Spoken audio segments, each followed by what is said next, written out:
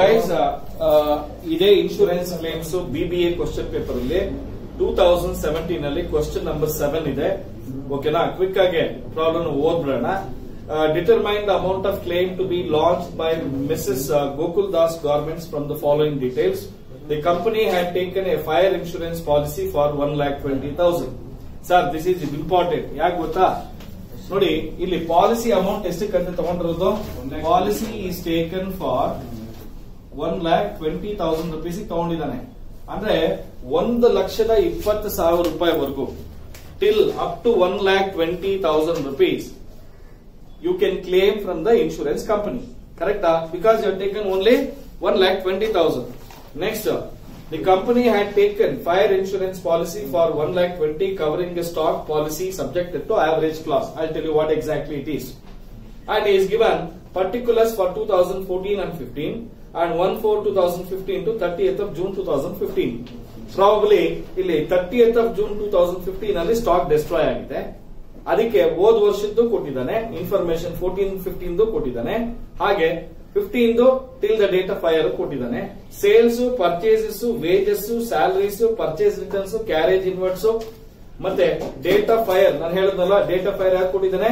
Thirty of June two thousand fifteen ಹಾಗಾದ್ರೆ ನಾವು ಬರಿಬೇಕಾಗಿರೋದು first of April two thousand fifteen to thirty of June two thousand fifteen ಈ date ವರೆಗೂ memorandum trading ಮಾಡಬೇಕು.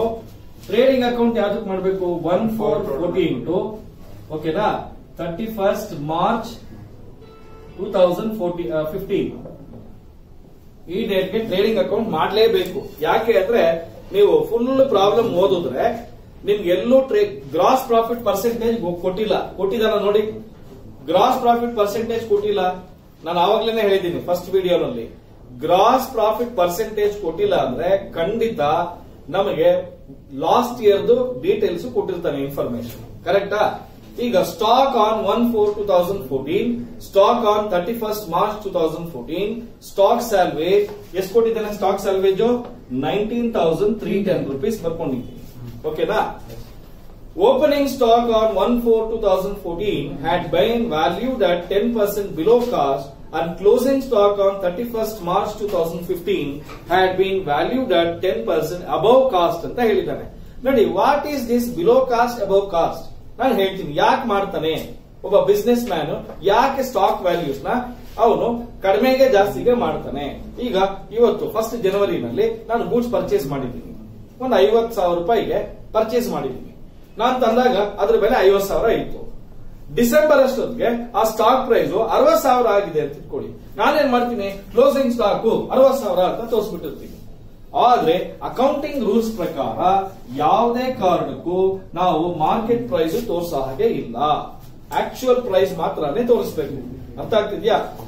ಮಾಡಿದಾನೆ opening stock ತಗೊಂಡಿದ್ದಾನೆ. ಯಾವ date ಅಲ್ಲಿ? One four two thousand fourteen ನೋಡಿ one four two thousand fourteen ಕರೆಕ್ಟಾ? ನಾವು ಪ್ರಿಪೇರ್ ಮಾಡ್ತಾ ಇರೋದು trading account one four fourteen ಇಂದ ಮಾರ್ಚ್ ಫಿಫ್ಟೀನ್ಗೆ. ಎಷ್ಟಿದೆ amount one lakh twenty eight thousand seven hundred ಇದೆ. ಇದು ಎಷ್ಟಕ್ಕಂತೆ? ಬಿಲೋ ಅಂತ ಹೇಳಿದ್ದಾನೆ. ಅಂದ್ರೆ ನೂರು ರೂಪಾಯಿ ವ್ಯಾಲ್ಯೂ ಮಾಡೋ ಅಂದ್ರೆ ಹತ್ತು ರೂಪಾಯಿ ಕಡಿಮೆ ಮಾಡಿದ್ದಾನೆ. ಕರೆಕ್ಟಾ? ನೂರು ರೂಪಾಯಿ ವ್ಯಾಲ್ಯೂ ಮಾಡೋ ಅಂದ್ರೆ ಹತ್ತು ರೂಪಾಯಿ ಕಡಿಮೆ ಮಾಡಿದ್ದಾನೆ. ಅಲ್ಲಿಗೆ ನೈಂಟಿ ಪರ್ಸೆಂಟ್ಗೆ ವ್ಯಾಲ್ಯೂ ಮಾಡಿದ್ದಾನೆ. ಹಂಡ್ರೆಡ್ ಪರ್ಸೆಂಟ್ ಎಷ್ಟಾಗುತ್ತೆ? ಎಷ್ಟಾಗುತ್ತೆ? ಬೇಗನೆ ಹೇಳ್ಬೇಕು. ನಿನ್ನೆ ಮಾಡಿದೀವಲ್ವಾ? ಹೇಳ್ಬೇಕು ಬೇಗನೆ. ಎಷ್ಟು? One lakh twenty one lakh one lakh forty three thousand rupees ಅದೇ ತರ closing stock two lakh thirty one thousand ಕೊಟ್ಟಿದ್ದಾನೆ. ಇದು ನೂರು ರೂಪಾಯಿಗೆ ಮಾಡೋ ಅಂತ ಹೇಳಿದ್ರೆ ನೂರು ರೂಪಾಯಿಗೆ ಮಾಡು ಅಂದ್ರೆ ಎಷ್ಟಕ್ಕೆ ಮಾರಿದಾನೆ ಹತ್ತು ರೂಪಾಯಿ ಜಾಸ್ತಿ ಮಾರಿದಾನೆ ಅಲ್ಲಿಗೆ ನೂರ ಹತ್ತು ರೂಪಾಯಿಗೆ ಮಾರಿದಾನೆ ಹಾಗಾದ್ರೆ one lakh two lakh thirty one divided by hundred and ten into hundred ಎಷ್ಟು? ಅಲ್ಲಿಗೆ ಒರಿಜಿನಲ್ ಆಗಿ ಪ್ರೈಸ್ ಟೂ ಲ್ಯಾಕ್ ಟೆನ್ ಆದ್ರೆ ಅವನು ಎಷ್ಟು ತೋರಿಸಿದ್ದ? Two lakh thirty one ತೋರಿಸಿದ್ದ closing opening original value one lakh forty three but ಎಷ್ಟು ಬರ್ತಿದ್ದ ಒನ್ ಲ್ಯಾಕ್ ಟ್ವೆಂಟಿ ಏಟ್ ಕಡಿಮೆ ಬರ್ತಿದ್ದ ಇಲ್ಲಿ ಜಾಸ್ತಿ ಬರ್ತಿದ್ದ ಈಗ ಸರಿ ಮಾಡಿದ್ವಿ ನೆಕ್ಸ್ಟ್ ಈಗ ಬಿಗಿನಿಂಗ್ ಇಂದ ಬರೋಣ. ಏನೇನಿದೆ ಅಂತ ಹೇಳಿ. Adjustment ಮುಗಿಸಿದೀವಿ. Below cost above cost clear ಈಗ ನಮಗೆ ಸೇಲ್ಸ್ ಲಾಸ್ಟ್ ಇಯರ್ ಎಷ್ಟು ಕೊಟ್ಟಿದ್ದಾನೆ. ಈ ವರ್ಷಕ್ಕೆ ಎಷ್ಟು ಕೊಟ್ಟಿದ್ದಾನೆ. Six lakh sixty nine five hundred ದಯವಿಟ್ಟು ಬರೆದು ಬಿಡಿ ಅಲ್ಲಿಂದ ಅಲ್ಲೇ ರೂಲ್ಸ್ ಹಾಕೊಳ್ಳಿ ನೆಕ್ಸ್ಟ್ ಪರ್ಚೇಸಸ್ ಈ ವರ್ಷ ಎಷ್ಟು ಕೊಟ್ಟಿದ್ದಾನೆ. Seven lakh eighty nine thousand five hundred ಕೊಟ್ಟಿದ್ದಾನೆ. ನೋಡ್ಕೊಳ್ಳಿ ಪರ್ಚೇಸ್ ರಿಟರ್ನ್ಸ್ ಏನಾದ್ರು ಇದೆಯಾ ಅಂದ್ರೆ ಇದೆ. ಅದಕ್ಕೆ ಪರ್ಚೇಸ್ ರಿಟರ್ನ್ಸ್ ಇದ್ದಾಗ ದಯವಿಟ್ಟು ಕೇರ್ಫುಲ್ ಆಗಿ ಮಾಡಿ. ಪರ್ಚೇಸ್ ರಿಟರ್ನ್ಸ್ ಇದೆ. ಓಕೆನಾ twenty seven thousand four hundred rupees ಇದೆ. ಹಾಗಾದ್ರೆ ಎಷ್ಟು ಬರುತ್ತೆ? Seven lakh sixty two thousand one hundred ಬರುತ್ತೆ ಕರೆಕ್ಟಾ ಅದೇ ತರ ಪರ್ಚೇಸಸ್ ಈ ಇಯರ್ದು three lakh ninety four thousand ಇದೆ ಕರೆಕ್ಟಾ ಏನಾದ್ರು ರಿಟರ್ನ್ಸ್ ಇದೆಯಾ ಅಂದ್ರೆ yes nine thousand six hundred returns ಇದೆ. ಓಕೆನಾ ಇಲ್ಲಿ ಫ್ರೀ ಸ್ಯಾಂಪಲ್ಸ್ ಏನು ಇಲ್ಲ. ಕರೆಕ್ಟಾ ಅದಕ್ಕೆ ಫ್ರೀ ಸ್ಯಾಂಪಲ್ಸ್ಗೆ ಡ್ಯಾಶ್ ಡ್ರಾಯಿಂಗ್ಸ್ಗೆ ಡ್ಯಾಶ್ ಅಲ್ಲಿಗೆ ಇನ್ನೆಷ್ಟು ಬರುತ್ತೆ? Three lakh eighty four four hundred three lakh eighty four thousand four hundred ಬರುತ್ತೆ. ನೆಕ್ಸ್ಟ್ ಏನಿದೆ? ಕ್ಯಾರಿ ವೇಜಸ್ ಅಂಡ್ ಸ್ಯಾಲರೀಸ್ ಅಂತ ಇದೆ. ಏನಿದು? ವೇಜಸ್ ಅಂಡ್ ಸ್ಯಾಲರೀಸ್ ಸ್ಯಾಲರೀಸ್ ಎಷ್ಟಿದೆ wages one lakh thirty seven thousand four hundred ಇಲ್ಲೆಷ್ಟಿದೆ? Sixty eight thousand nine hundred sixty eight thousand nine hundred nine hundred ಇದೆ. ಆಮೇಲೆ ಏನಿದೆ? Carriage inwards carriage inwards carriage inwards ಎಷ್ಟಿದೆ twenty seven thousand four hundred twenty one seven thousand four hundred four hundred ಇದೆಷ್ಟಿದೆ nine thousand six hundred nine thousand six hundred ಇದೆ. ಕರೆಕ್ಟಾ manufacturing expenses ಇಲ್ಲ. ಅಷ್ಟೇನಾ? Opening stock ಒಂದ್ ನಿಮಿಷ ಹೇಳ್ತೀನಿ. ಇದಾಯ್ತಾ? ಈಗ ನಮ್ಗೆ ಎಲ್ಲಾ ಐಟಮ್ಸ್ ಮುಗಿಸಿದೀವಿ. ಇಲ್ಲಿ ಸೇಲ್ಸ್ ಗೊತ್ತಿದೆ closing stock opening stock purchases expenses ಈಗ ಟೋಟಲ್ ಮಾಡಿ ಎಷ್ಟು ಬರುತ್ತೆ ಹೇಳಿ? ಇಲ್ಲಿ three lakh fifty three thousand thirteen lakh fifty three thousand thirteen lakh fifty three thousand ಇದ್ರಲ್ಲಿ ಮೈನಸ್ ಮಾಡಿದ್ರೆ ಬರೋದೇನೋ?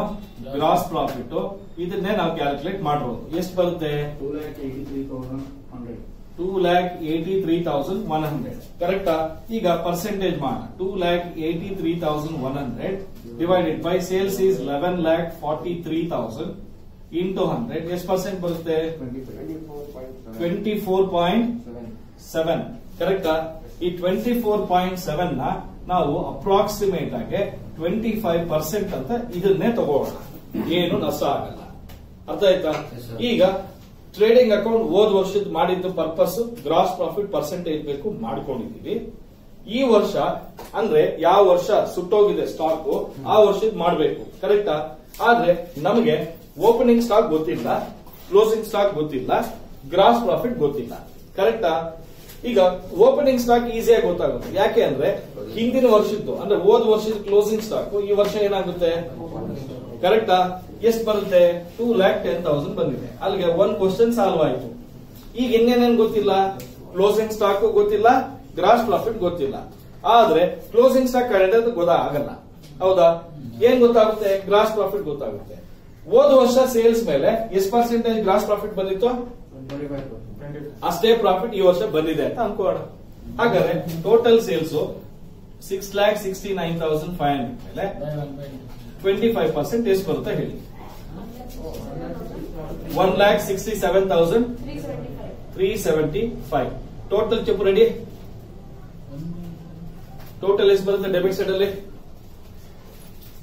ಹೇಳ್ದ ಆಗ್ಲೇ ಸುಮ್ಮನಾಗ್ಬಿಟ್ಟ ಹತ್ತು, ಹತ್ತೊಂಬತ್ತು, ಇಪ್ಪತ್ತೆರಡು, ಒಂಬತ್ತು, ಹದಿನೆಂಟು, ಇಪ್ಪತ್ತಾರು, ಮೂವತ್ತು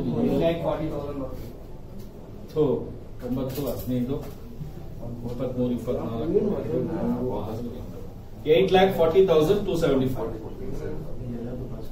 ಕರೆಕ್ಟಾ five seven seven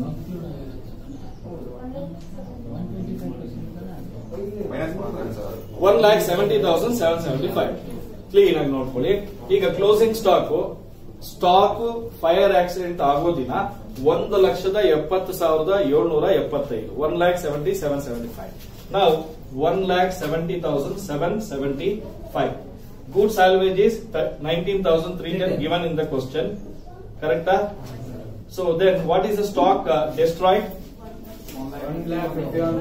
ನಾವು we got this but what is the amount of policy we have taken? One lakh twenty ನೀನೇ ಹೇಳು ಸನ ನೀನ್ ಪಾಲಿಸಿ ಒಂದ್ ಲಕ್ಷ ಇಪ್ಪತ್ತಕ್ಕೆ ತಗೊಂಡು ಒಂದ್ ಲಕ್ಷ ಐವತ್ತೊಂದು ಸಾವಿರದ ಚಿಲ್ಲರೆ ಸ್ಟಾಕ್ ಸುಟ್ಟೋಗಿದೆ ಅಂದ್ರೆ ತರ ಇನ್ಶೂರೆನ್ಸ್ ಕಂಪ್ನಿಯವರು ಖಂಡಿತ ಕೊಡೋದಿಲ್ಲ. ಹೌದಾ? ಅಂದ್ರೆ ಇದನ್ನ ಅಂಡರ್ ಇನ್ಶೂರೆನ್ಸ್ ಅಂತ ಹೇಳ್ತೀವಿ. ಏನಂತ ಹೇಳ್ತೀವಿ? ಅಂಡರ್ ಇನ್ಶೂರೆನ್ಸ್ ಸರ್ ಟೂ ಮಾರ್ಕ್ಸ್ಗೆ ಬಿ ಗೆ ಬಿಬಿಎಗೆ ಬೇಕಾದ್ರೆ ಬರ್ಕೊಂಡು ಇಟ್ಕೊಂಡ್ಬಿಡಿ. What is average clause two marks question ಪಕ್ಕ ಹಂಡ್ರೆಡ್ ಪರ್ಸೆಂಟ್ ಕೊಟ್ಟಿರ್ತಾರೆ. Average clause guarantee see average clause clause C L A U S E ಚಲ right yeah average clause C L A U S E what is average clause class ಅಂತ ಹೇಳಿದ್ರೆ this clause is applicable only when the policy amount is less than the stock on the date of fire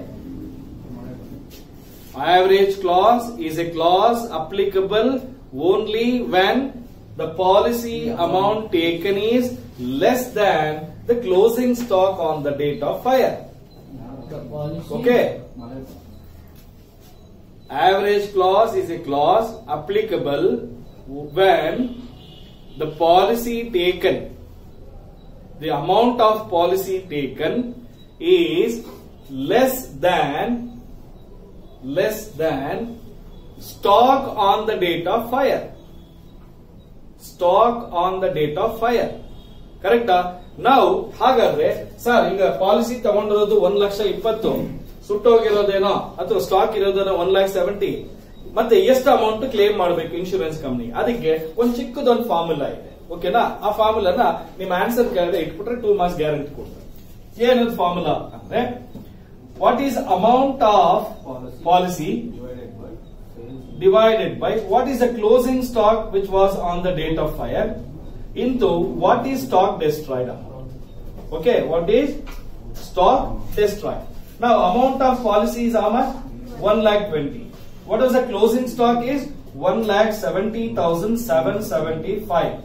And what is the stock destroyed? 1 lakh 51,465. Now tell me what is the claim amount? Tell me what is the claim amount? It should come less than 1 lakh 20. One lakh six thousand four thirty-one. 1 lakh 6,431. So this is the amount we can claim from the insurance company. Understood? We cannot claim this amount. We cannot claim this amount. Or nor we cannot claim 1 lakh 20 also. We can claim only 1 lakh 6,431. ನೀವು question ಕೇಳ್ಬೋದು sir why? Because some goods is saved from fire. You will get some money from that. Am I right or no? So therefore, you will be paid only 1 lakh 6,431. Thank you so much. If you like this video, please share, like, and if you have any doubts, put it in the comment box. Definitely I will reply. Okay, thank you.